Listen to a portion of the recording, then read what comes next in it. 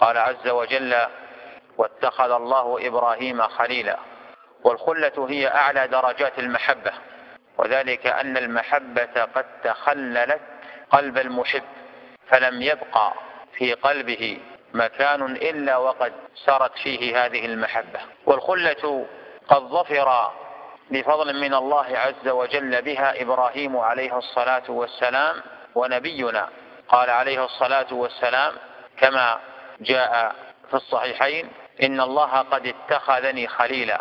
وقال عليه الصلاة والسلام إن صاحبكم خليل الله. وقال عليه الصلاة والسلام لو كنت متخذا خليلا لاتخذت أبا بكر خليلا ولكن أخوة الإسلام ومودته. وقال عليه الصلاة والسلام إني أبرأ إلى كل خليل من خلته وقد نال إبراهيم عليه الصلاة والسلام هذه المرتبة بعد أن امتحن بذبح ابنه.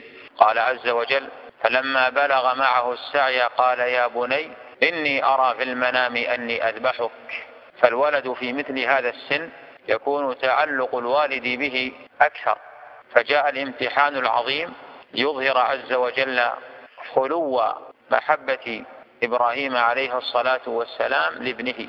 فلما تفرغ قلبه عليه الصلاة والسلام لمحبة الله جل وعلا كافأه الله بذلك.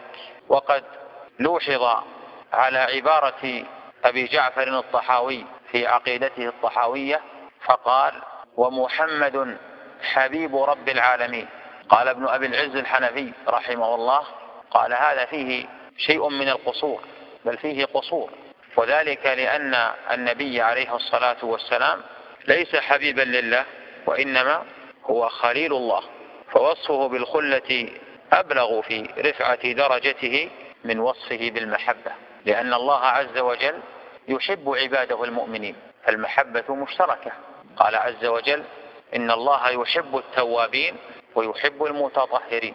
ولذا فهو عليه الصلاة والسلام لما تبرأ من خلة أهل الأرض لم يتبرأ من محبتهم. جاء في الصحيحين لما ولى عليه الصلاة والسلام عمرو بن العاص على جيش غزوة ذات السلاسل وهي أرض السلاسل أرض أتاه قبل أن يسافر فسأله فقال من أحب الناس إليك؟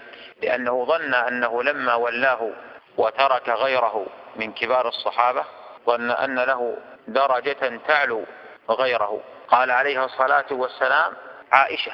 فقال فمن الرجال؟ قال أبوها. قلت ثم من؟ قال عمر. فعد رجالا ثم سكت خشية من أن يجعلني آخرهم. فدل على افتراق الخلة عن المحبة. وأما ما جاء عند الترمذي أن النبي عليه الصلاة والسلام قال إن إبراهيم خليل الله وأنا حبيب الله ولا فخر فهو حديث ضعيف. ولو قال قائل بما يجاب عما جاء عند الترمذي. قال عليه الصلاة والسلام إن إبراهيم عبدك وخليلك قد دعا لمكة بالبركة وأنا عبدك ورسولك أدعو لأهل المدينة بمثلي البركة فمع البركة بركتين. فيقال هذا حديث صحيح.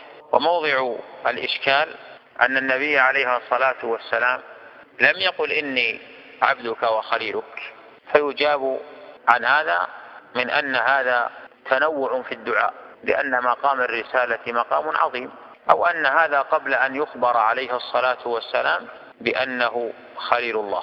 فلا تعارض بين ما جاء عند الترمذي وبين تلك الأحاديث المثبتة للخلة.